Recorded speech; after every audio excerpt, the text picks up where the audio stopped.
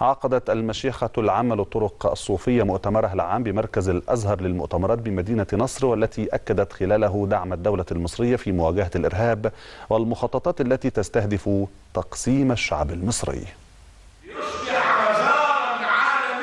تأكيدا على دعم الدولة المصرية في مواجهة المخططات التي تستهدف تقسيم الشعب المصري والثبات في مواجهة هؤلاء. نظمت المشيخة العامة للطرق الصوفية المؤتمر الصوفي السنوي بمركز مؤتمرات الأزهر وسط حشد كبير من أعضاء المجلس الأعلى للطرق الصوفية ومشايخ ومريد الطرق من أنحاء الجمهورية.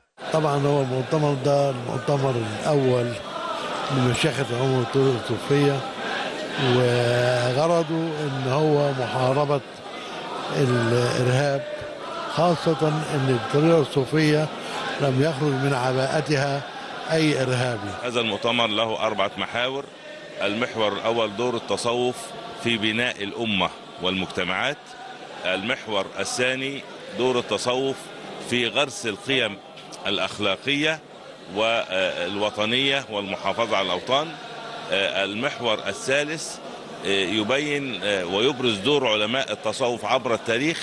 هم الذين نشروا علوم الشريعة الوسطية جميع علوم الإسلام الوسطية وجميع العلوم وجميع المؤلفات والمراجع التي يعتمد عليها جميع الناس أساسها علماءها صوفية. المؤتمر أكد على أهمية دور التصوف في دعم القيم الأخلاقية والتسامح بالإضافة لمواجهة الأفكار المتطرفة. تحديات كثيرة جدا والأمة الإسلامية في أمس الحاجة إلى التصوف.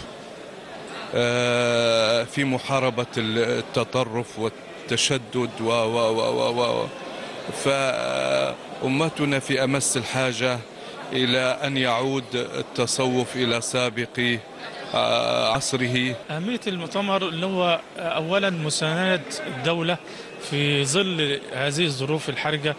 إحنا شايفين الوقت فيه أفكار متطرفة من قتل واستباحة للدماء.